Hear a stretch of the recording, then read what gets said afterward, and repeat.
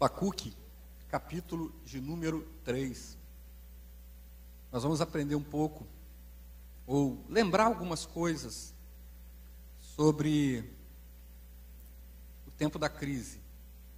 A gente tem ouvido tantas mensagens sobre o tempo, esse tempo que a gente vive, né? Sobre o tempo da crise, sobre o que fazer no tempo da crise. Mas infelizmente, nesse tempo que a gente está vivendo, a gente tem ouvido muitas mensagens negativas, mensagens pessimistas. E eu não vim aqui para falar de coisas negativas para você. Eu não vim aqui roubar a tua fé. Eu não vim aqui roubar a tua esperança. Eu não vim aqui derreter o teu coração. Eu vim aqui ser profeta de esperança para a tua vida. Eu vim aqui animar o teu coração. Eu vim aqui para fortalecer a tua fé. Eu vim aqui para motivar você a seguir em frente, a dizer para você que Deus tem mais para a tua vida, que Deus tem coisas novas para você, que há uma esperança em Deus, apesar do caos, apesar das dificuldades, apesar das crises, apesar das lutas, há algo novo de Deus para esse tempo, para as nossas vidas. Você crê nisso? Diga amém.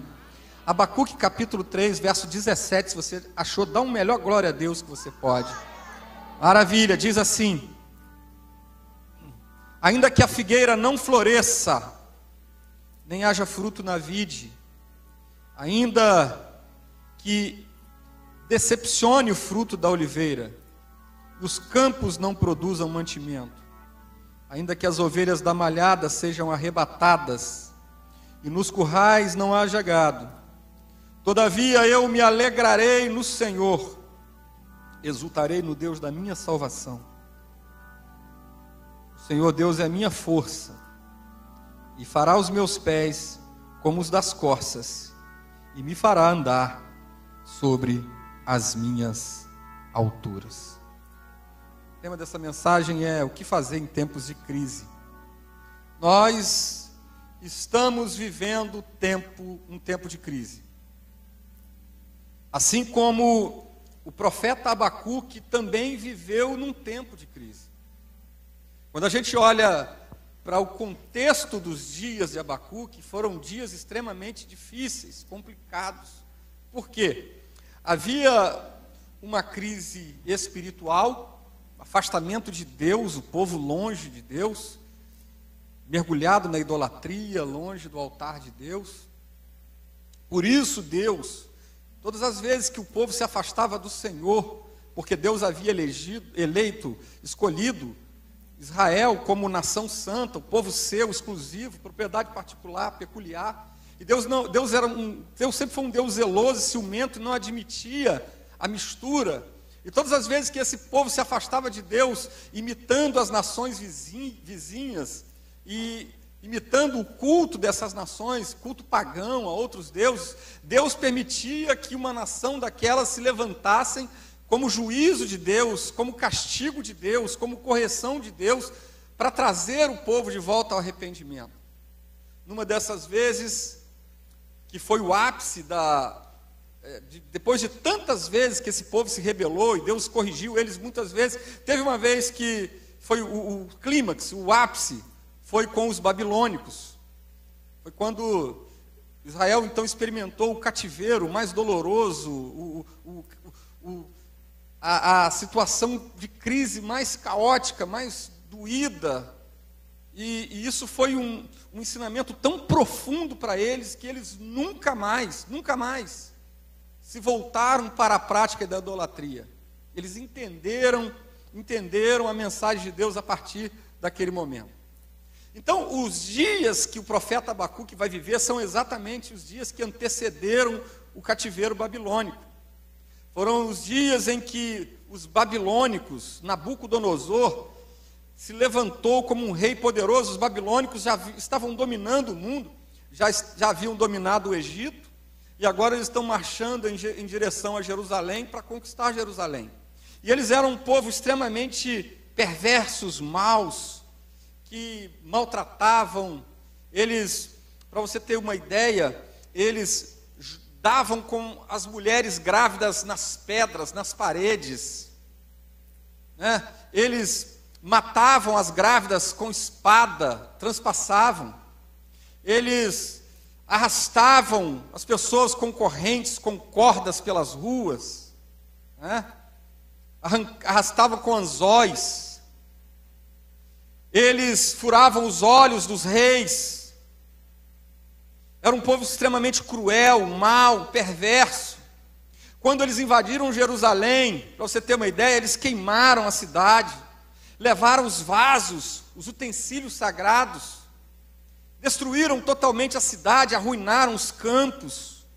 E eu queria que você mergulhasse nesse texto de Abacuque, que é, é essa visão do profeta. Ele está vendo a destruição de Jerusalém. Quando Nabucodonosor invade Jerusalém, pastor Emerson, ele, ele destrói a cidade, ele bota fogo na cidade, ele leva todo o ouro, aquele ouro da glória do templo, projetado por Davi, construído por Salomão, aquele templo da glória, que os sacerdotes não podiam ficar de pé, tamanha glória, não existe mais. Agora aquela glória se foi, porque o ouro foi levado, os vasos foram levados, o, o santuário foi profanado, tudo foi destruído, e a presença de Deus não está mais lá, a arca não está mais lá, a cidade está arruinada, os jovens são levados cativos para a Babilônia, os nobres são levados cativos para a Babilônia, as pessoas de idade produtiva são levadas para a Babilônia, somente os velhos, os inválidos, as pessoas improdutivas economicamente são deixadas ali em Jerusalém, a cidade arruinada, destruída. Esse é o cenário, é sobre isso que Abacuque está profetizando, é isso que ele vê. Ele antevê o que vai acontecer. Né? Os campos sem produzir, o fogo consumindo a lavoura, as prateleiras vazias, não tem gado, não tem leite, não tem mantimento, não tem nada. Procura-se um fruto na oliveira, na videira, não tem. Escassez, ausência, fome, cenário de caos, de destruição, crise. Mas ele diz: ainda que a figueira não floresça, não haja fruto na vide, o produto da oliveira minta, os campos não produzam mantimento, todavia eu me alegrarei no Senhor, exultarei no Deus da minha salvação. Ele está vendo a crise, mas está dizendo: a crise não é o fim e a crise não vai me dominar. Então, estou dando um spoiler aqui do final da mensagem. O que, que eu tenho que fazer quando eu olho o cenário de destruição, de caos e crise que o profeta está vivendo? Parece que ele está vivendo no nosso tempo crise espiritual, crise econômica, financeira, ausência de Deus, as pessoas estão longe de Deus. As pessoas estão desempregados, 14 milhões de desempregados no Brasil, pessoas morrendo, doentes, pessoas morrendo doentes porque pessoas estão roubando os recursos da saúde. Para você ter uma ideia, né? Isso, qual o nome disso? Falta de amor. Jesus disse: por se multiplicar a iniquidade, o amor de muitos esfriará. A corrupção, a corrupção é um retrato do fim dos tempos. Esfriamento do amor leva o homem a não ter piedade de ninguém, ele rouba na cara de pau, não tem sentimentos. Então, o que, que a gente tem que fazer nesse tempo de crise? Número um, em tempos de crise, eu tenho que fazer uma coisa muito óbvia: orar. eu, ó, vou, vou chover no molhado aqui hoje, viu? Eu vou, eu vou falar coisas simples. Não vim pregar coisas profundas, não sou pregador de coisas profundas. Sabe, eu sou pregador de, rasteirinho, pastor Emerson. Mas uma coisa que me conforta de ser um pregador de coisas rasteiras. Jesus era um pregador de coisas simples. Jesus falava do grão de mostarda. Jesus falava do lavrador, pastora Fernanda. Jesus falava da terra, né? do patrão, do empregado, da ovelha. Né? Então eu sou pregador de coisas simples. Então a primeira coisa que você precisa fazer é orar, gente. E é isso que o profeta, eu vou ficar, fica com a sua Bíblia aberta aí. O profeta Abacuque vai me mostrar isso no capítulo 1. Veja o que está escrito aqui.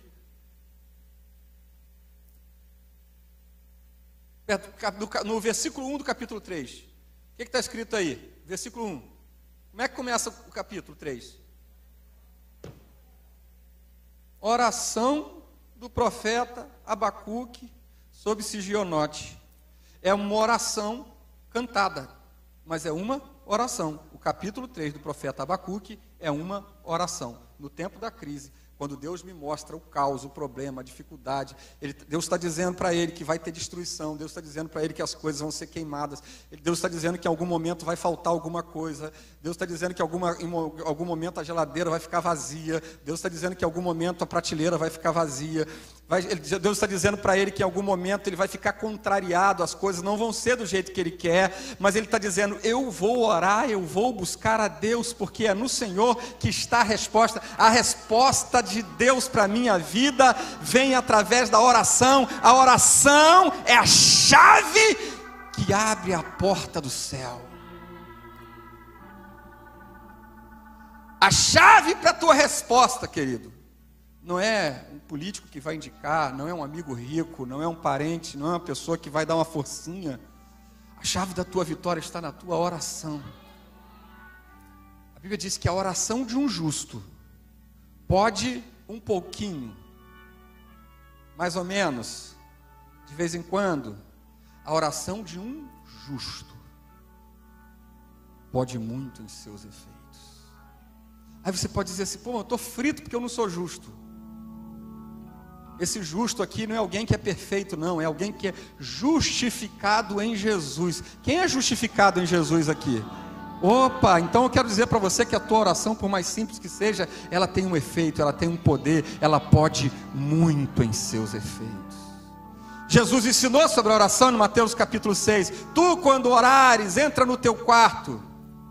Ele não está dizendo se você é uma mulher poderosa na intercessão.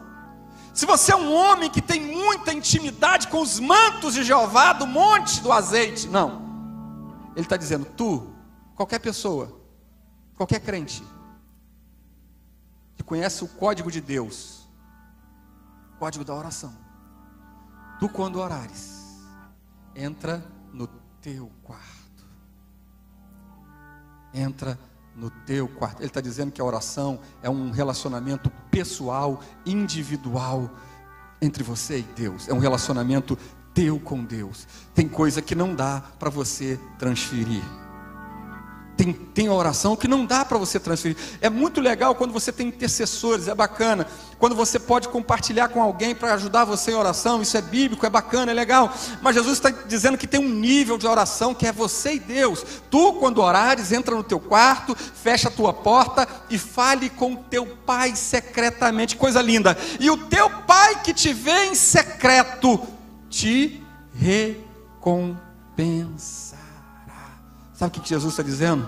Não existe oração sem resposta. Você não entendeu? Vou dar uma de Emerson. Se você não entendeu, eu vou repetir. Não existe oração sem resposta. Quando você se aplicou à tua oração, Deus já ouviu a tua oração. Lembra de Daniel? O profeta Daniel estava num propósito, ele queria uma resposta. E a Bíblia diz que o príncipe da Pérsia se entrepôs entre o mundo espiritual e Daniel para gerar um impedimento. Você sabia que tem coisas que acontecem no mundo, mundo natural que são impedimentos gerados no mundo espiritual? Mas eu quero dizer nessa noite que hoje é noite de Deus quebrar o impedimento do mundo espiritual para gerar uma vitória no mundo natural. Eu me lembro que uma vez a gente tinha um. A Isabela estava nos Estados Unidos, no, no, no, Portugal, e a gente tinha um problema lá em Portugal para resolver, e aquele problema estava travado, aquilo não resolvia. E um dia, eu orando em casa, pastor André, Deus me mostrou um ser espiritual. Um espírito. Deus me mostrou, Deus me revelou. Aí eu comecei a orar especificamente para repreender aquele espírito E Deus quebrou, repreendeu. Em poucos dias, aquele problema foi resolvido. E mesmo à distância, aqueles documentos foram assinados e tudo foi resolvido e a vitória veio, porque havia algo natural, algo espiritual interferindo no natural. Havia uma interferência na oração de Daniel. E diz a Bíblia que Deus então mandou o anjo. E ele disse assim: Daniel, homem muito desejado. Daniel capítulo 10, se você quiser conferir. Desde o primeiro dia que aplicaste o teu coração sobre este negócio, a tua oração foi ouvida. Quando? No primeiro dia. Desde o primeiro dia. Desde, guarde isso hoje, desde o primeiro dia. Eu vim dizer para você que é mentira do diabo que a tua oração não foi ouvida. É mentira do diabo, teu acusador, teu adversário, que Deus não está te ouvindo por causa disso ou por causa daquilo. É o espírito de acusação para tentar desanimar você, tirar você do caminho da fé. Eu vim dizer para você que desde o primeiro dia que você aplicou o teu coração na oração, Deus já ouviu a tua oração.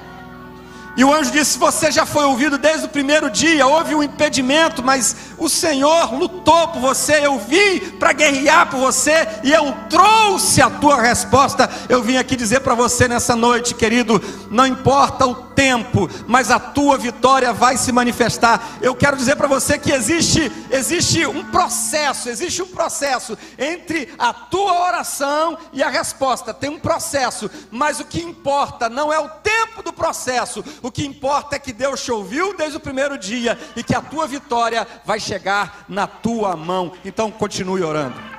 Continue orando. Apesar da crise, continue orando. É uma ferramenta importante que você tem. Número dois. Então, em primeiro lugar, no tempo da crise, você pode orar. Número dois, você deve orar. Número dois, você deve cantar. Porque o capítulo 3 de Abacuque é uma oração cantada. Certo, adorador? Estou falando alguma heresia? Traduzindo em miúdos, pastora Fernanda, é um salmo isso aqui. Isso aqui é um salmo. É a mesma linguagem que você encontra lá no livro dos Salmos, é a linguagem que está aqui. Para ser cantado com instrumento musical. Então ele está dizendo assim: olha, eu estou vendo a crise, eu estou vendo o problema, eu estou no meio do caos, mas eu vou orar e também eu vou cantar. Irmão, se tem uma ferramenta poderosa, querido, querida, que você tem na sua vida, no meio das tuas guerras, é o poder do teu louvor. Que arma poderosa. E sabe, é uma arma que você pode usar em qualquer lugar. Assim como a oração, o cântico, o louvor, você pode você pode utilizar em qualquer lugar. E sabe, e o teu adversário, ele vai fazer sempre de tudo para você fazer o contrário disso. Sabe qual é o contrário do louvor? Murmuração. O contrário do louvor é a murmuração. O teu adversário não quer que você louve, porque você foi gerado para o louvor da glória de Deus. Você foi gerado para louvar a Deus. Você foi gerado para cantar? Não necessariamente, você foi gerado para louvar. Pastor, mas eu não tenho uma voz bonita para cantar. Canta em pensamento, irmão. Faça como eu. Canta no meio da multidão. Hã? Mas cante, louve. Canta desafinado mesmo, não tem problema não. No meio do, da multidão mistura tudo, irmão. Aí a pastora Fernanda pega o microfone, cobre tudo. O pastor Emerson faz ali uns acordes bacanas. Aí tá importante é que Deus vai receber o teu louvor. Meu pastor costuma dizer: para subir no altar para cantar é outra história. Aí você tem que fazer com excelência, fazer bem feito, né? Cantar bem, tocar bem, fazer o melhor. Agora, louvar é você fazer com a alma, com sinceridade fazer para Deus. O louvor é uma arma poderosa, é uma ferramenta gloriosa. E o diabo sabe disso. Por isso que ele sempre fez de tudo para o homem não louvar. Sempre. Sempre. E aí, quando a gente vê a história de Israel no deserto, irmão, nunca ninguém na vida experimentou tanto milagre quanto aquele povo. Não tinha padaria, mas eles comiam pão fresco todo dia. Não tinha açougue no deserto, nem boutique de carne, mas eles comiam carne fresca todo dia. Não tinha de Santini lá, você sabe o que é de Santini? Mas eles, o sapato deles não envelhecia. O sapato deles, o menino crescia, o sapato crescia junto. Lá não tinha shopping center, não tinha alfaiataria, não tinha boutique, não tinha nada disso, mas as roupas deles não gastavam. Mas aquela gente murmurou contra Deus e contra Moisés assim mesmo. A murmuração deles era tão complicada que teve um dia que Deus falou assim: vai ter uma galera aí que eu vou abrir um buraco e a terra vai engolir eles. Os caras eram tão ruins que Deus abriu um buraco e engoliu uma galera. 250, 250, só numa leva morreu 250 murmuradores. Sabe o que, que eles falaram? Olha por que essa gente murmurou. Eles, eles murmuraram contra a liderança. Um perigo quando você murmura contra a autoridade.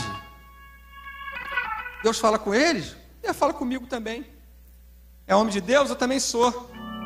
Tem revelação? Eu também tenho. Deus fala com ele, Deus fala comigo. Deus fala com ela, Deus fala comigo também. Ei, uma coisa é Deus falar com você, outra coisa é a autoridade estar com você. É outro nível, é outra coisa, é outra coisa. O que Deus trata com o líder é outro patamar é outro nível de adoração. O que Deus fala com o pastor, Deus só fala com o pastor. Lá em Apocalipse, Deus não está lá dizendo assim, ó, ao diácono da igreja que está em Filadélfia. Deus não fala ao líder da intercessão que está em Sardes. Não, ao anjo da igreja. Ao, singular, ao anjo da igreja. Tem coisa que Deus só fala com o anjo da igreja.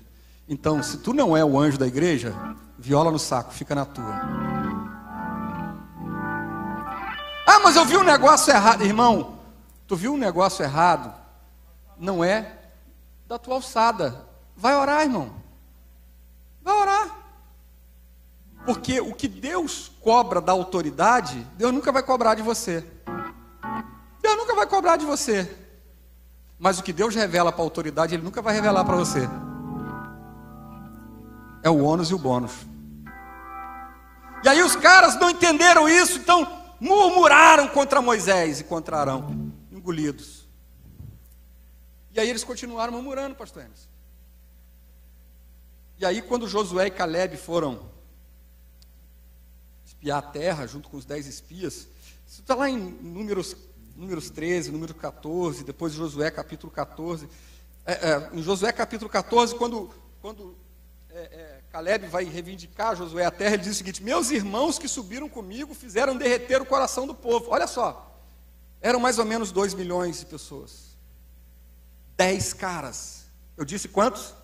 Dez. Dez homens fizeram uma congregação inteira ser contaminada na sua fé por causa de murmuração. E sabe o que aconteceu? Deus falou o seguinte: acabou para eles. Desse povo aí, ninguém vai entrar na terra, só vocês dois. Eles todos vão ficar para trás. Toda aquela galera que saiu do Egito, só Josué e Caleb entraram na terra prometida por, por, causa, de, por causa da língua. Por causa da língua. Porque eles trocaram adoração pela murmuração. Deus chamou eles para adorar e eles murmuraram. E a, a murmuração tirou a bênção. A murmuração tirou a vitória.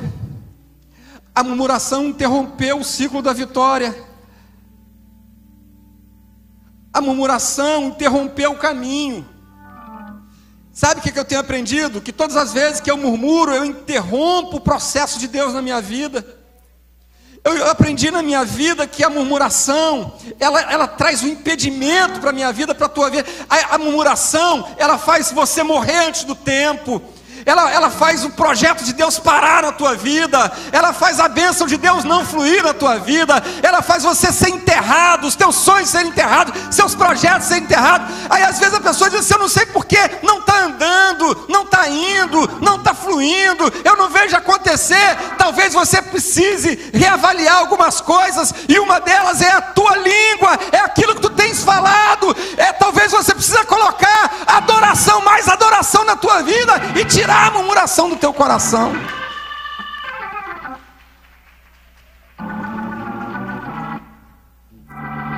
A murmuração te leva para o buraco. Guarde isso. A murmuração te leva para o buraco.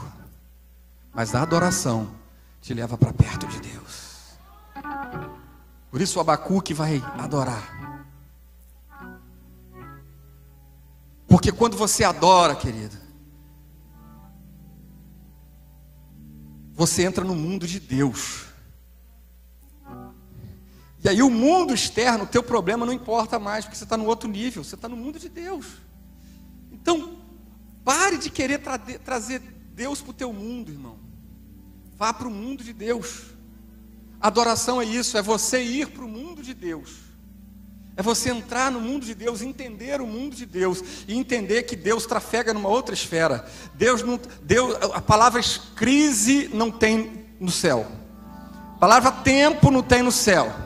Deus vive na eternidade. Palavra pandemia não tem no céu. Palavra morte não tem no céu. Palavra choro não tem no céu. Palavra desemprego não tem no céu. Palavra doença não tem no céu. Isso é coisa da terra. No céu é glória, no céu é adoração, no céu é louvor, no céu é eternidade.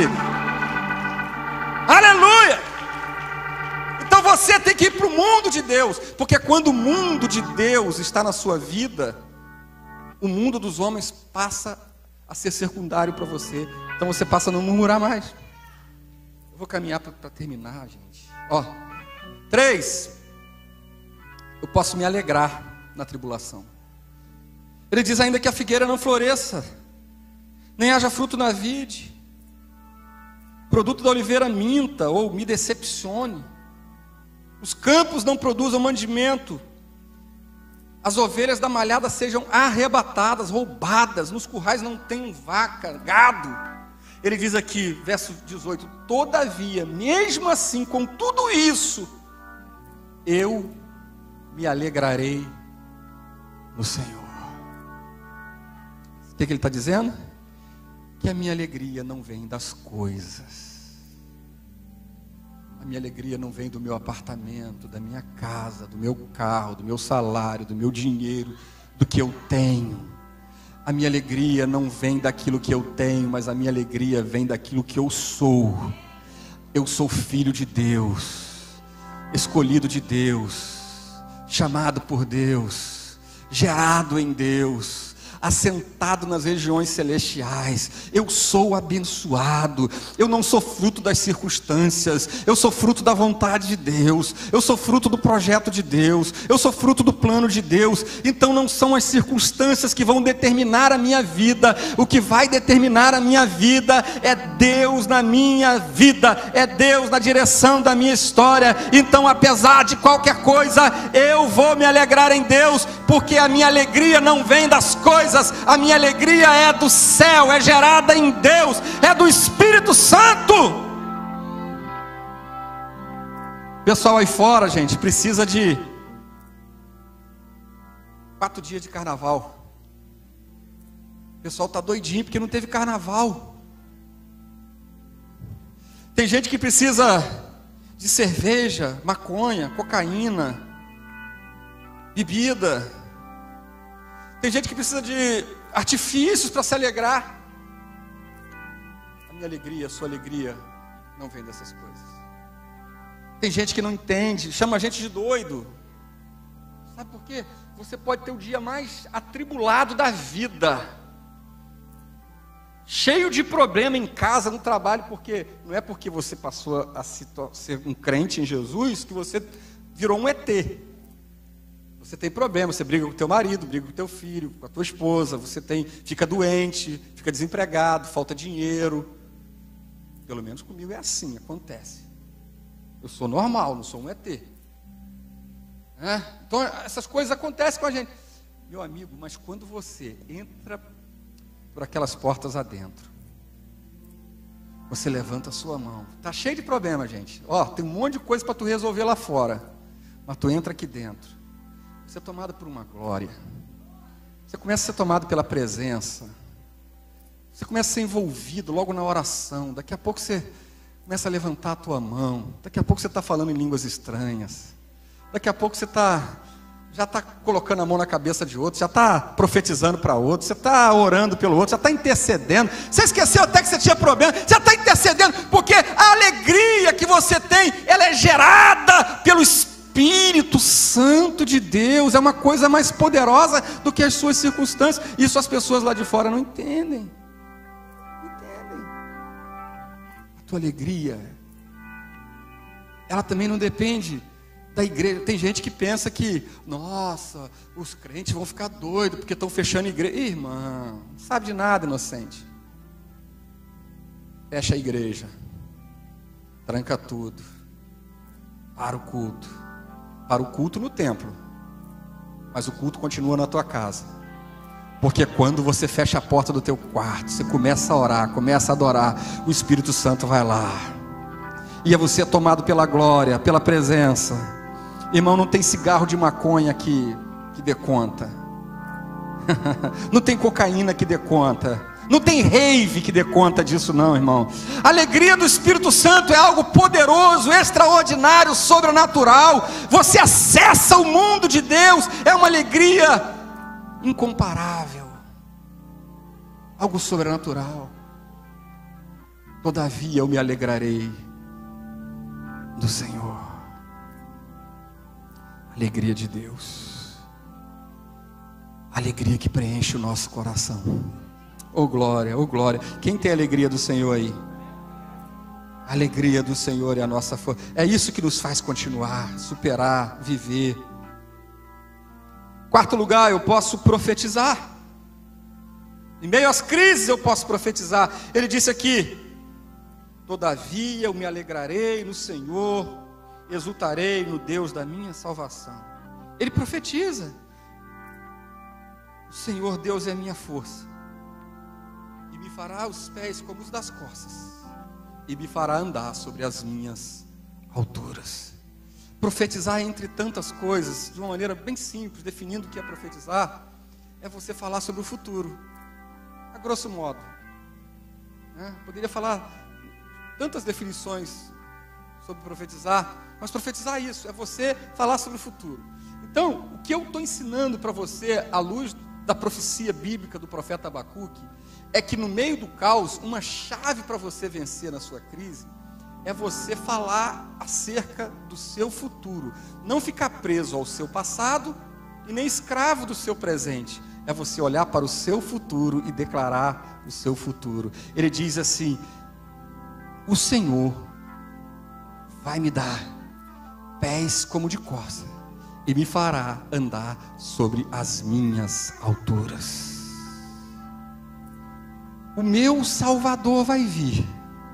Coisa linda. Ele vai me dar pés de corça e vai me levar para um outro lugar, para um outro nível, para uma outra situação que não vai ser mais essa de crise, de caos, de ausência, de escassez. Eu vou para uma outra situação, para uma outra circunstância. Eu vou estar num outro nível, num outro patamar, numa outra circunstância, num lugar firme, num lugar seguro, que eu vou subir, que eu vou superar, porque Ele vai me dar pés de coça.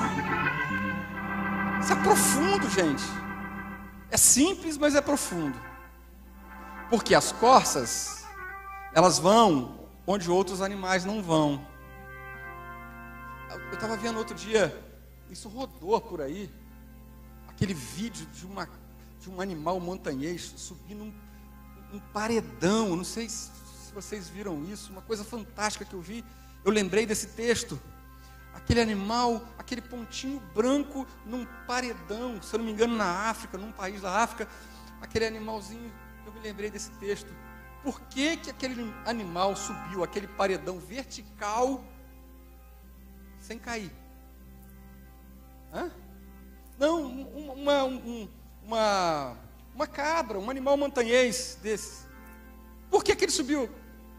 Porque Deus deu um pé, uma pata diferenciada para aquele bichinho. É isso que o profeta está dizendo. Ele está dizendo assim: Deus ungiu os meus pés para eu atingir outros lugares onde os comuns não chegam.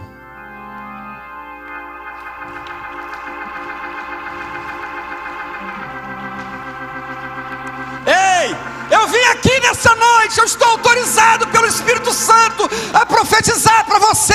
Pode ter crise, pode faltar coisas, pode ter problemas, mas você está habilitado, qualificado, ungido Deus para acessar lugares incomuns que Deus te capacitou pelo Espírito Santo a subir, a acessar lugares onde os comuns não podem ir. Deus vai te colocar lá, Deus vai te fazer transpor os lugares comuns e fazer você acessar os lugares incomuns. Aracalabaxandarabá. Será que você consegue alcançar isso nessa noite? O profeta ele está profetizando sobre ele mesmo. Não tem fruto na vide.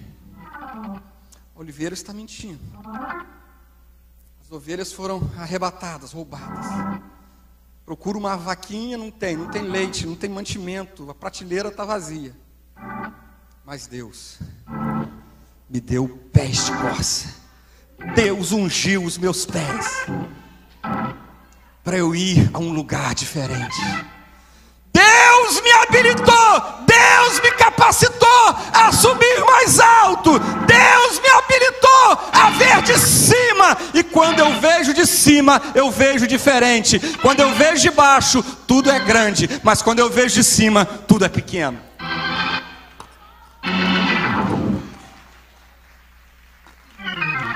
Entendendo?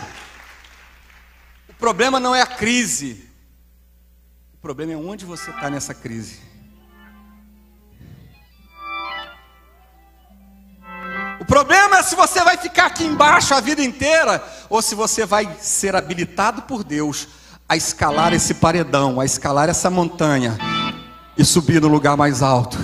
Deus está dizendo para você: ei, esse lugar que você está, de crise, de problema, de dor, de lágrima, de sofrimento, não é definitivo, não é para sempre. Deus tem um nível maior, Deus tem um nível melhor, Deus tem outro lugar. Deus tem um lugar, fica de pé, querido, adorando, glorificando, exaltando o nome do Senhor, porque é profético para a sua vida. Eu vim aqui dizer para alguém que está chorando, eu vim aqui dizer para alguém que está sofrendo. Eu vim aqui para dizer para alguém que está em crise. Eu vim dizer para você: calme descansa o teu coração. E nessa noite aprenda a profetizar sobre as suas crises e dizer assim: Todavia eu me alegrarei no Senhor, porque o Senhor Jeová é a minha força, Ele me fará os pés como os das costas. Eu já não me vejo mais nesse lugar de dor, eu me vejo lá em cima. Satanás, eu vou subir a montanha, eu vou chegar no lugar mais alto, eu vou superar.